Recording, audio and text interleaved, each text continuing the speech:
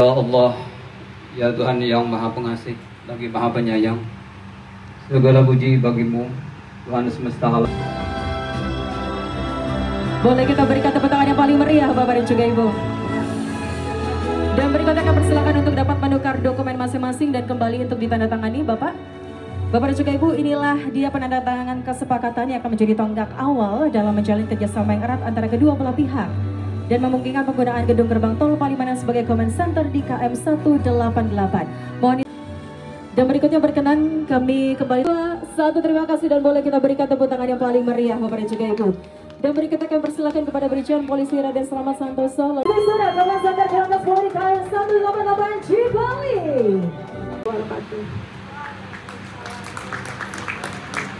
dukung pelaksanaan pengamanan, pelayanan bersama penegakan hukum dan pertukaran informasi operasional arus lalu lintas di wilayah Jabar. Dan inisiatif ini cukup uh, cukup tidak terencana sebenarnya. Kenapa? Karena waktu itu kalau Pak Jenderal ingat, waktu itu Pak waktu Nataru ya Pak Jenderal ya. Jadi Pak untuk menjadikan bangunan ini sebagai command center. Nah, kami uh, bertindak bereaksi cepat, bereaksi cepat dan uh, karena kami melihat manfaatnya bagi uh, semua pihak, terutama uh, berkoordinasi sinergi antara Asal Tol Cipali dan Kakor Lantas, kami segera berkoordinasi dengan BPH, dengan BPJT, dengan Kementerian PUPR, dan akhirnya pada hari ini, Alhamdulillah, uh, Command Center ini uh, sudah siap beroperasi dan nanti insya Allah akan kita sama-sama resmikan.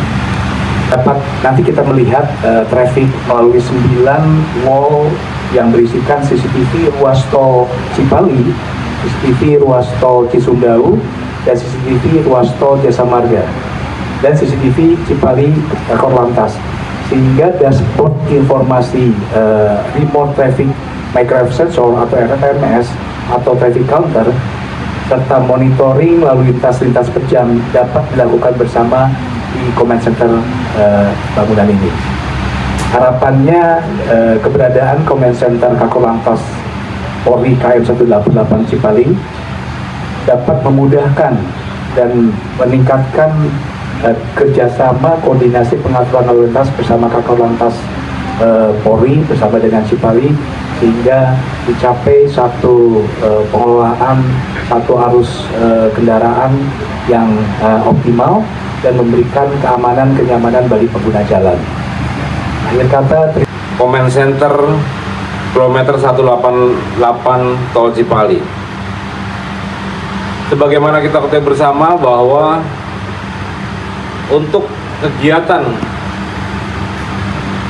tahun 2023 pengamanan lebaran tahun 2023 kunci sukses kita adalah sinergitas sinergitas kolaborasi dan kerjasama di antara seluruh stakeholder yang ada. Demikian juga adanya manajemen pengelolaan media yang cukup baik. Dan tentunya adanya comment center yang kita berfungsikan sebagai pusat K3I, komando, kendali, dan koordinasi, serta memberikan informasi kepada masyarakat pengguna transportasi yang ada, sehingga sangat tepat apabila pada hari ini eh, kita berkat kerjasama yang cukup baik, Bandung Bondowoso atau kata Pak Billy, ini uh, hari ini insya Allah kita resmikan untuk comment center di KM 188 ini. Semoga ini bisa lebih menjadi bermanfaat bagi para pengguna jalan yang ada. Dalam pelaksanaan tugasnya tentunya Presiden telah menjelaskan di dalam lima program kerja yang dijabarkan dalam empat kebijakan utama Kapolri di mana Kakor Lantas sebagai pengemban fungsi lalu lintas telah menyampaikan Bapak Kakor Lantas telah menyampaikan beberapa commander WIS salah satunya adalah revitalisasi NTMC, RTMC, dan TMC kemudian juga penguatan ETLE demikian juga dengan meningkatkan kehadiran Polantas di lapangan serta penanganan laka dan penyatuan platform yang ada. Diharapkan dengan adanya comment center ini nanti akan menjadi pengembangan jalur-jalur yang ada di sekitar Jawa Barat dari mulai Cisumdawu, tol Cisumdawu yang sudah mulai beroperasional full, kemudian juga jalur Subang, serta jalur Kertajati, Bandara Kertajati. Itu akan ini akan menjadi sentral sentral pengaturan arus lalu lintas keluar masuk Jawa Barat untuk lewat tol. Sehingga di kilometer 188 ini betul-betul uh, sangat bermanfaat dan pas sekali hasil obrolan-obrolan kita di Nataru kemarin nanti akan lebih bagus lagi kalau di atasnya mungkin dikasih apa tempat ngopi-ngopi nongkrong gitu ya. Dari Kemudian juga mungkin dengan dengan dibangunnya comment center ini akan mempercepat pembangunan jadi tiga lajurnya dari KM 188 menuju ke, ke Cisumdawu. Nah, itu akan lebih bagus lagi sehingga pergerakan kendaraan, pergerakan masyarakat nanti dalam uh, lebaran dan kegiatan-kegiatan berikutnya, event-event nasional berikutnya lebih lebih bisa lancar lagi. Inisiatif pembangunan Comment Center ini berawal dari pelaksanaan operasi Lilin Nataru 2024 kemarin saat kunjungan di kilometer 188 Tol Cipali yang menyanyikan tentang gedung X gerbang tol Palimanan. Dalam hal bersamaan, Korlantas Polri juga sedang menguatkan fungsi monitoring dan pengendalian arus lalu lintas Jawa Barat dan Jawa Tengah. Tadi Bu Komang sudah menyampaikan bahwa kita sudah membicarakan juga untuk rencana pembangunan comment center yang di Kali Kangkung ya Bu ya. Kali Kangkung. Di mana itu menjadi jalur prioritas baik dalam masa operasi maupun tidak. Sehingga Peresmian Comment Center KM 188 Tol Cipali merupakan wujud nyata kepolisian yang bekerjasama dengan Astra sebagai penyedia bangunan, sebagai sarana monitoring dan kontrol arus lalu lintas.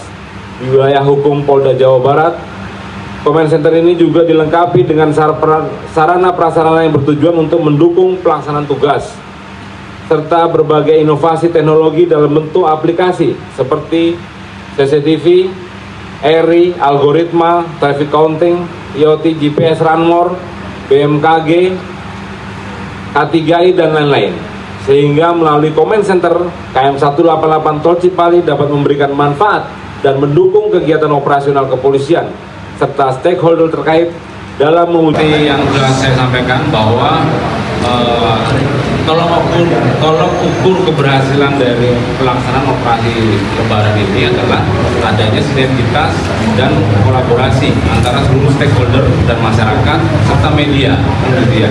Nah, oleh karena itu dengan adanya comment center ini yang digunakan sebagai pusat komando kendali koordinasi dan informasi ini sangat baik sekali ini mengacu kepada comment center yang ada di sebelumnya di kilometer 29 29 sehingga itu akan selalu terintegrasi, terintegrasi dan uh, saling termonitor pergerakan arus lalu lintas yang dari Jakarta kemudian masuk Jawa Barat kemudian lepas ke Jawa Tengah. Demikian juga sebaliknya dari Jawa Tengah nanti pada saat arus balik ke Jawa Barat ke Jawa Tengah dan ke jalur selatan di Sumbawa dan lain sebagainya. Sehingga comment center ini sangat bermanfaat uh, untuk mengatur mengolah mengelola arus lalu lintas baik yang di jalan tol maupun yang di jalan arteri.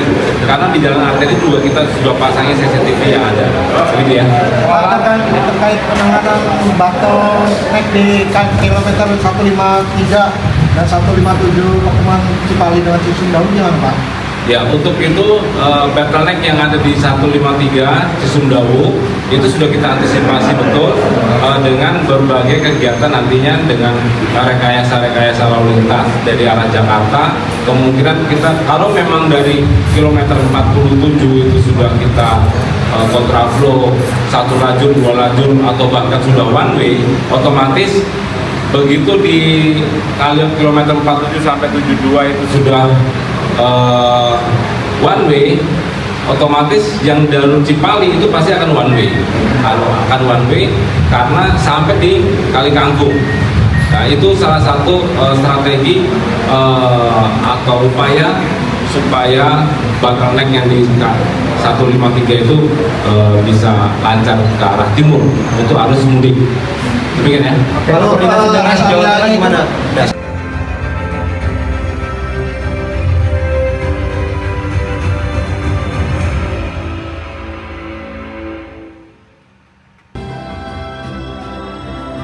Boleh kita berikan tepuk tangan yang paling meriah Bapak dan juga Ibu.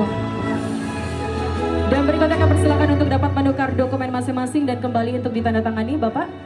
Bapak dan juga Ibu, inilah dia penandatangan kesepakatan yang akan menjadi tonggak awal dalam menjalin kerjasama yang erat antara kedua belah pihak dan memungkinkan penggunaan gedung gerbang tol Palimanan sebagai command center di KM 188. Mohon dan berikutnya berkenan kami kembali Sudah command center KM 188 Cipali. Satu terima kasih dan boleh kita berikan tepuk tangan yang paling meriah Bapak dan juga Ibu. Dan berikutnya kami persilakan kepada Brigjen Polisi Raden Selamat Santoso